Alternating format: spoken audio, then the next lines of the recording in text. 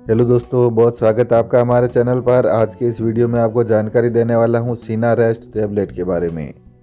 तो जानते हैं दोस्तों, ये टैबलेट किन किन समस्याओं में काम करती है, इसको ली जाने वाली डोज क्या रहती है, और साथ ही जानेंगे इस टैबलेट से होने वाले कुछ साइड इफ़ेक्ट्स के बारे में। बात करें इस टैबलेट में मौजूद साल्ट के बारे में तो वो है पैरासीटामोल फेनिलेफ्रिन हाइड्रोक्लोराइड और क्लोरफेनेरामाइन मालिट ये टैबलेट सर्दी, जुकाम और कफ संबंधित समस्याओं में काफ़ी इफ़ेक्टिव है। ये टेबलेट गाढ़े बलगम को पतला करके बाहर करती है। खांसी की समस्या, सांस लेने में कठिनाई की समस्या दूर होती है। नाक का बहना, बंद नाक, छींके आना और आँखों में पानी आना। तो ऐसी समस्या में ये टेबलेट लाभकारी है। ये टेबलेट बदन दर्द, सिर दर्द और बुखार की समस्या में भी काम करती है।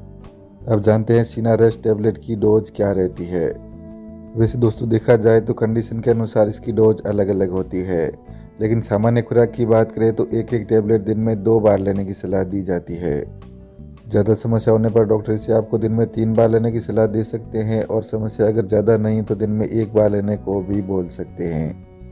इस टेबलेट को खाना खाने के बाद या खाना खाने के पहले कभी भी ले सकते हैं, लेकिन बेहतर है कि आप इसे खाना खाने के बाद में लें। दोस्तों, आखिर में जान लेते हैं इस टेबलेट से होने वाले कुछ साइड इफ़ेक्ट्स के बारे में। प्रमुख है सुस्ती आना कमज़ोरी, थकान, नींद लेने में कठिनाई और सिर दर्द की समस्या हो सकती है। इसकी ओवरडोज से इंडाइजेशन और भूख में कमी की समस्या भी देखी जा सकती है।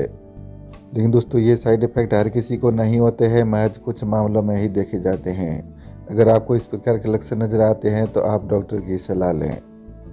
तो दोस्तों, उम्मीद करता हूँ कि आपको हमारे द्वारा दी गई जानकारी अच्छी लगी होगी। जुड़े रहने के लिए आप हमारे चैनल को सब्सक्राइब ज़रूर करें।